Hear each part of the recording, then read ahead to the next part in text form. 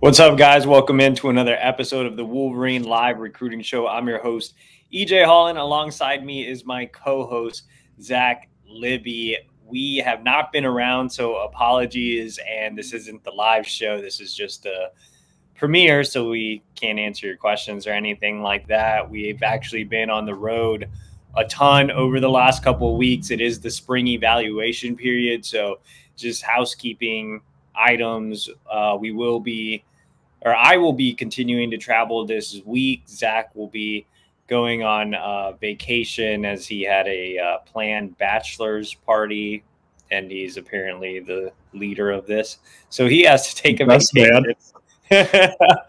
um, who, by the way, this guy, like who Zach's friends with, scheduled this bachelor's party during the spring eval period, and then turned around and scheduled his wedding during the USC weekend. So that's a that's a terrible friend right there. He should just, you know, Zach should have dumped him a long time ago. But anyway, um, we'll probably have to keep premiering shows um, every now and then until the end of May, and then we'll get back on our normal schedule um, at the beginning of June. So just really hectic with all the travel and uh, Zach going on his trip out west with his uh, friend boys.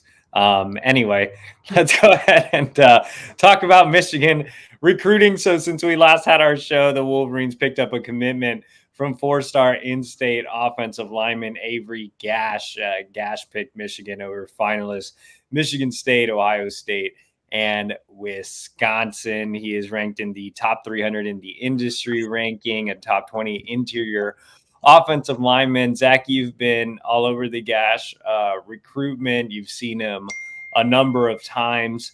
And uh, yeah, just talk a little bit about what this commitment means for the Wolverines. I think it just shows that when you pitch an offensive lineman to Michigan, more than likely that, that offensive lineman is going to see the realization that development is going to be best done in Ann Arbor, considering not only the fact that your head coach is a former offensive lineman. He coached the offensive lineman at Michigan, leading Michigan to two Joe Moore awards. And then the guy who succeeds more at the offensive line coach spot played offensive line at Michigan.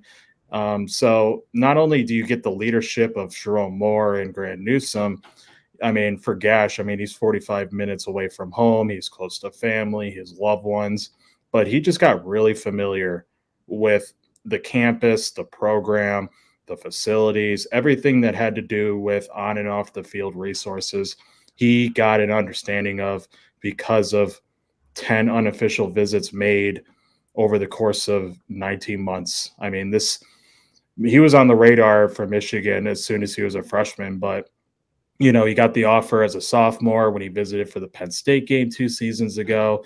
Last season, he was there at the big house for three game day visits.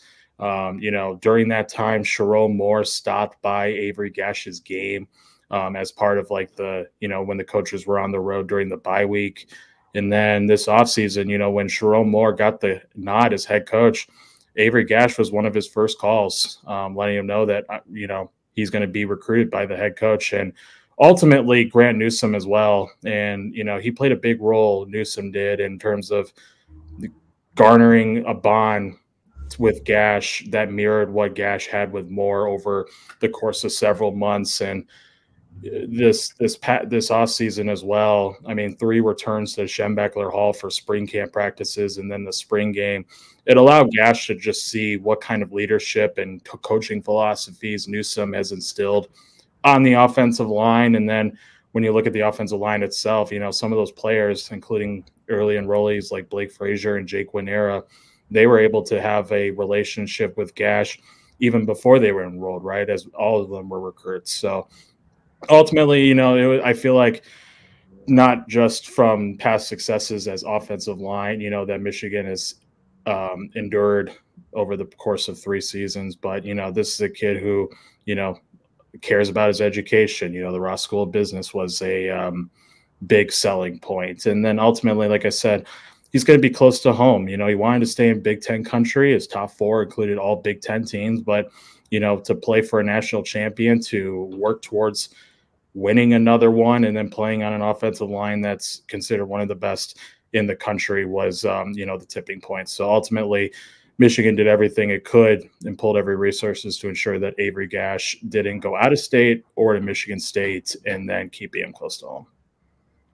Um, so Gach's uh, ranking is interesting. It seems like the services don't agree on him um, too much. You have on three that lists him as a three star, and then you have two services that have him inside the 200 to 300 range, and then another one that's inside the top 200. Um, with Gach, I think he's one of the better interior offensive linemen in the country. I think, for example, on three, which has him as a three star, is uh, is too low, and I, I would probably agree with uh, more with ESPN, which has him in that borderline uh, top 300 range. I think they have him at like 298 or something. Um, but I would have him just outside of the top 300. But as a four star recruit, you know, Gach is extremely physical. And I, I don't necessarily put a premium um, on straight up interior offensive linemen, which was why my um, grade is a little low. You do see him playing some tackle here on his film, um, but I think he's a guard all the way at the next level. But the thing that stands out when you watch uh, Gach's Hudl tape, which we're playing here now, is again just that physicality. I think he's a guy that knows how to finish blocks, which is always a plus at the high school level. You know, having a guy that has that mean streak that wants to put guys in the dirt. He certainly has that. He can clean up some things uh, from a technical standpoint. He's not overly athletic, but like I said, just really physical road grader that fits uh, what Michigan looks for in its interior offensive linemen. So, you know, Gach was a priority for Sherrone Moore when he was the offensive line coach. And obviously, as a head coach, he was personally involved in this recruitment. So he was a guy that was always a tier one recruit for Michigan. They wanted to close with him, and they were able to do so earlier than expected. Now, unfortunately for Michigan, since our last show, you know, they landed Avery Gach, but they missed out on Marquise Davis on 300 running back out of Ohio, picking Kentucky over Michigan in a bit of a weird turn of events. So, how this happened was obviously Michigan had built a ton of momentum with Davis. They got him on campus three times in the spring, and you saw some um, predictions from other sites roll in. Zach and I never put in predictions because we were kind of told to hold off. Michigan wanted to take a cautious approach with this recruitment. And, you know, a lot of people asked me what we meant by that, why we didn't put in predictions, why we were saying that Michigan was taking a cautious approach. Well, we found out why. Um, Kentucky came in, and obviously, I think NIL was a big factor in this recruitment. And you see, Michigan had the overwhelming lead on the on three recruiting prediction machine. Kentucky, with just a 2.7% chance of landing him, pulls it off. And I think, you know, this kind of sums up the NIL era where recruitments can turn on a dime or things are really sensitive at a place like Michigan where, you know, there is no NIL for recruits. So, uh, Zach, what was your and and Zach, you were in Ohio, I guess, as this was taking place. What was your reaction to uh, Marquise Davis uh, picking Kentucky over Michigan? I thought it was a fake account when I saw that he picked because I was like, no, no, no. I just saw it 12 hours ago. Uh, the, I mean, I guess the reaction, it's like you, you know, history has, you know, wrote the story in terms of just Kentucky beating out Michigan for recruits, especially in the state of Ohio. This isn't the first time, and I don't know if this will be the last, but in order for it to be the last, I think there's a lot, you know, lessons that you can take away from this, especially on the NIL front. But, you know, this is a tough, tough loss for Michigan, especially considering the fact that they hosted Davis on three unofficial visits this spring, all of them coming following Tony Alford's hire from Ohio State in March. I mean, you know, he was able to see three spring camp practices. He got to be close with the coaches. I, I, I don't think everyone, I think this was all caught a surprise by everybody. But again, I think what Kentucky can sell on the recruiting front, I think you're just seeing, you know, it's able to beat out Michigan for some of these top players. And, you know, we saw it last cycle with two commits flipping to Kentucky. So, I mean, ultimately, I don't see it as a surprise. I think it's just more of a, a learning lesson for how to prevent this from happening moving forward if you're on the Michigan side. Yeah, I think it was a surprise to a lot of fans that, you know, are kind of more casual fans. That's why you should subscribe to the wolverine.com for one dollar for two months. Um, so yeah, you should do that. Um, that way you're not caught off surprise. But I think a lot of fans saw the predictions on Twitter and just assumed it was a done deal. And you know, even for us, it, it seemed like it was there. But you know, again, we heard that Michigan was taking a, a cautious approach, and that's why you know, like uh, they obviously were prepared for some type of NIL surprise punch, and it, it happened to be from Kentucky. And you know, it's it's not anything new. If you're a Michigan fan, you know this happened last cycle when you know Aaron Chiles was about to commit to Michigan and they were setting up an ESPN announcement for him.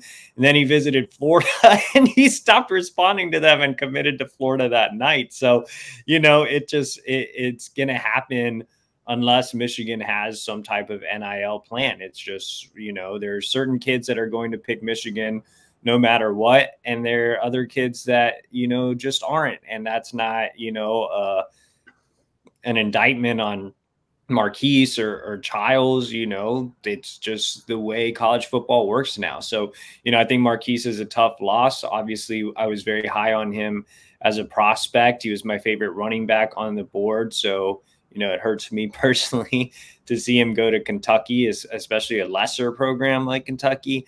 Um, and you look at the rest of the running back board, and now Tony Alford has to press the reset button. You have fellow Ohio native Bo Jackson, who uh, did not include Michigan in his top group. Uh, you have Jordan Davison, uh, on 300 running back from California, who visited and named Michigan in his top four, but that one seems unlikely. So you know, uh, Alford's dished out some offers to some new running back targets like Todd Robinson down in Georgia. There's pre existing targets like Iverson Howard from the DMV, who just visited for the spring game. So it'll be interesting to see if Michigan takes two backs, who they prioritize. You know, I think there uh, are a lot of unanswered questions on that board specifically now that uh, Marquise Davis. Um, decided to go to Kentucky. You know, he was basically penciled in with an asterisk and now he's completely erased because I'm not sure Michigan will be able to get back in the Davis race despite that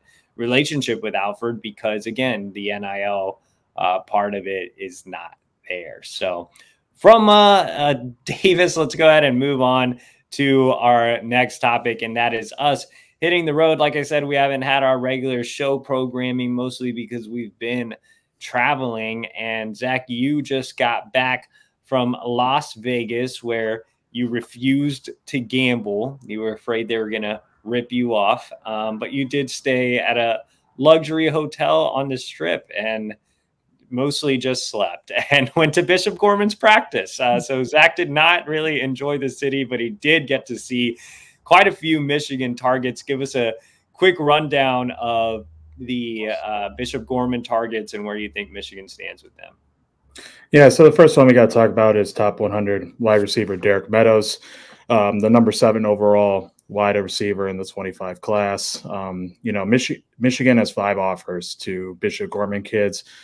Derek is the latest to have visited Ann Arbor, and he did it at the spring game in late April. Um, he has family in the Detroit area, so it was a reunion of sorts. You know, he got to see his grandmother and all that. But you know, he's familiar with the area. But this was his first time in Ann Arbor on an official visit, and it was good for him to get in. You know, FaceTime with wide receivers coach Ron Bellamy, head coach Sherrone Moore. Got to see some of his old youth football teammates from the Naperville Patriots in um, Tyler Morris and Amarion Stewart. Um, so that was nice for him. But you know, afterwards, you know, it's it's it really solidified. You know, I guess Michigan is a contender for him. Um, the next step is getting him for an official visit. It's something that Michigan is pushing for, and it's obvious considering you know if you read my observations piece um, earlier this week, you know the way Derek gets in and out of breaks and just a bigger bodied outside receiver threat, you know, he fits the bill that Michigan is looking for. And he was outstanding in spring practice um, on Tuesday. Uh, you know, he has a few official visits set up already to Alabama, Georgia, Notre Dame, and Tennessee. Um, that means all of his next upcoming weekends are booked. Michigan's obviously trying to get him in for an official visit. That is the next step in terms of ultimately landing him. Um, like I said, a bigger bodied outside receiver threat that Michigan is vying for this cycle. Um, right now, Derek has officials to Alabama, Tennessee, Georgia, and Notre Dame.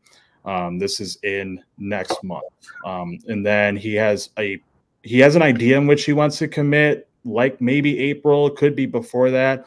Either way, you know, he's looking at dates in terms of which he can find a way to get back for an official to Michigan. Um, you know, Notre Dame has the ultimate lead, but you know, Georgia, Alabama, and others are really pushing for uh, Meadows. So it's, it's a it's a deep list of competition, but you know that spring game really put Michigan on the map in terms of fighting for the official visit and you know being a final contender the there was the among the four others, there are three offensive line targets in the 25 class at Gorman with Michigan offers. All three are expected to end up officially Michigan, um, but the one that has one set right now is Eli Kalani four star uh, versatile guy on the line. He currently plays left tackle for Gorman, um, but you know he has projected ability to play inside as well.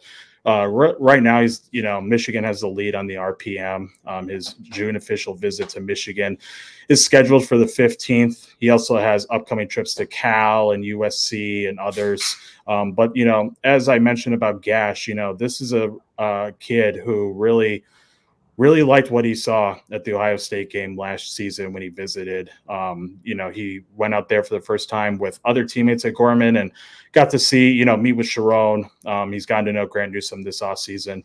The staff was out there um, earlier this week. So, I mean, again, this is a kid who really just appreciates, I guess, the on and off a bit uh, amenities, resources that Michigan can provide. And, you know, as a kid who wants to go to the NFL, he's seen how many draft picks Michigan has produced on the offensive line. Um, same thing goes for another, for the two other offensive linemen. First off, we'll start with Douglas Utu um, the top 100, number three overall interior offensive lineman in the country.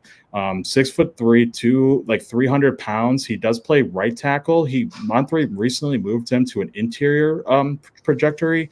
I, I, I I don't see that being out of the question. Um, I think he can play both. Um, he has a really nice frame, but um, this is a kid who visited in late March for the first time. You know, got to spend the weekend in Ann Arbor with the family, got to see spring camp practice, met with Moore and Newsome, has great relationships with both.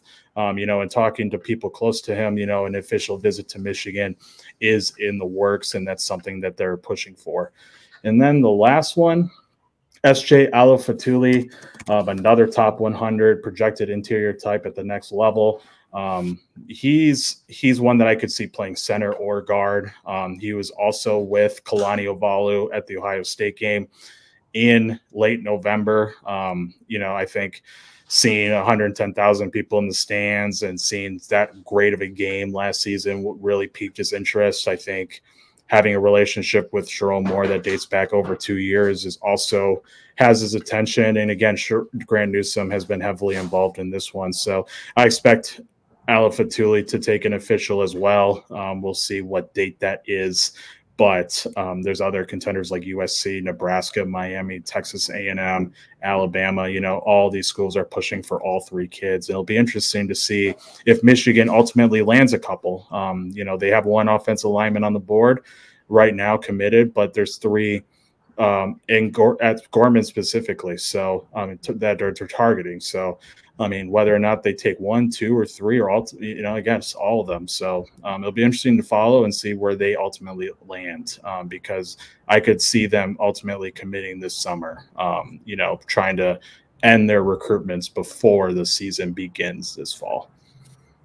Awesome. So uh, I was on the East Coast. I've made several stops, but I'm going to highlight three recruits. I would say they are the big three as far as, you know, um, top of their respective boards on offense. So let's go ahead and start off with Quincy Porter, top 100 wide receiver out of Bergen Catholic in New Jersey. Obviously, we've talked about Quincy quite a bit. He has uh, three official visits set right now Michigan, Ohio State, and Oklahoma. It's actually uh, in this order Ohio State, Michigan, Oklahoma. So OU getting the last visit, but I still think that this one's an Ohio State Michigan battle. Ohio State was there the day that I was on campus. Uh, Brian Hartline and uh, defensive assistant were both there to see Quincy Porter. The entire Michigan offensive staff was there earlier in the week. So everybody from lead recruiter Ron Bellamy to area recruiter Grant Newsome to new offensive coordinator Kirk Campbell, they all uh, went to the school, met with Porter and his father, made a really strong impression, and locked in his official visit. So, like I said, this one feels like more of a Michigan Ohio State battle with Oklahoma uh, hanging around. And, you know, you have a few other SEC schools interested as well. Georgia and Alabama were both at Bergen when I was there. So it'll be interesting to see how much they turn up the heat.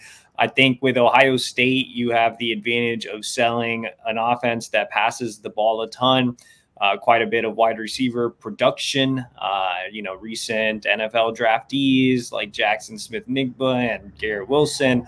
Um, you have NIL, so that's always helpful. On the Michigan side of things, it's also you know you also have a lot to sell. You have an open spot for Porter to come in and potentially start right away. They don't really have that big bodied pass catcher that they've wanted over the last couple of cycles. They haven't been able to land a true elite, a big outside receiver that you know is a true red zone threat, and that's exactly what Quincy Porter is. Uh, so the opportunity for immediate playing time is there. And look, we've talked a lot about Michigan's offense being very run heavy, but you need a dynamic playmaker to open up the offense a little bit, and that's kind of the pitch to uh, Quincy. Obviously, Michigan uh, a superior school on the academic side as well.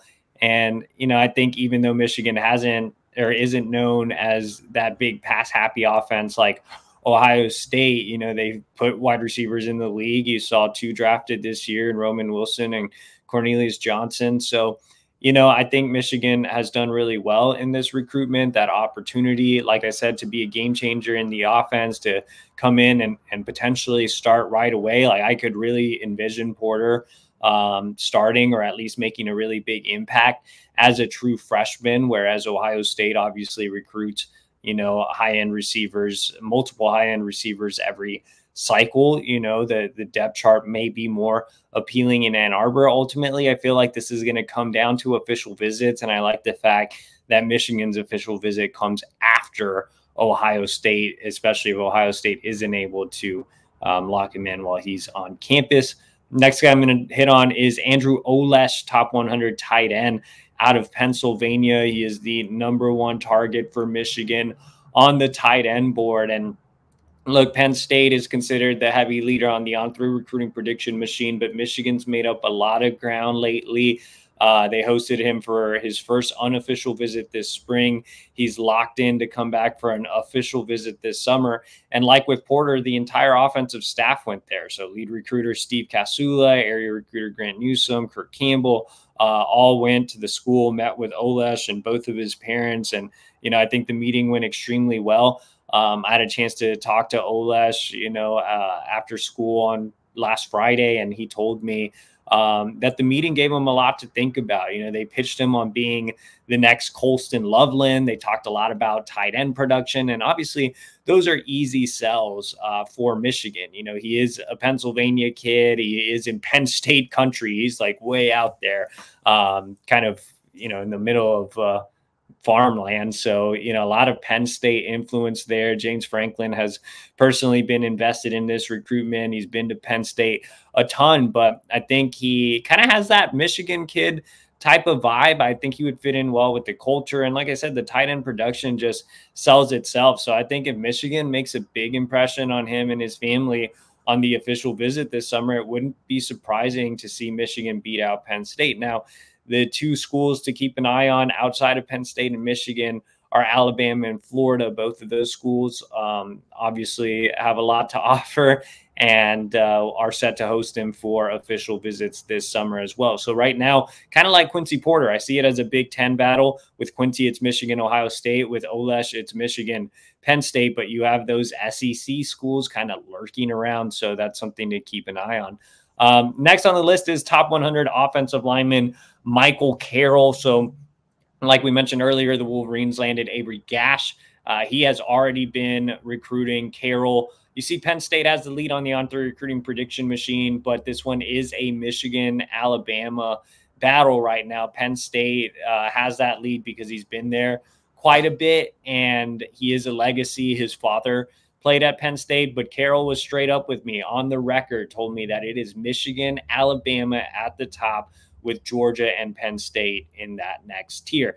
Now, I would probably give Alabama the slight edge right now, but it is a very, very close race heading into official visits.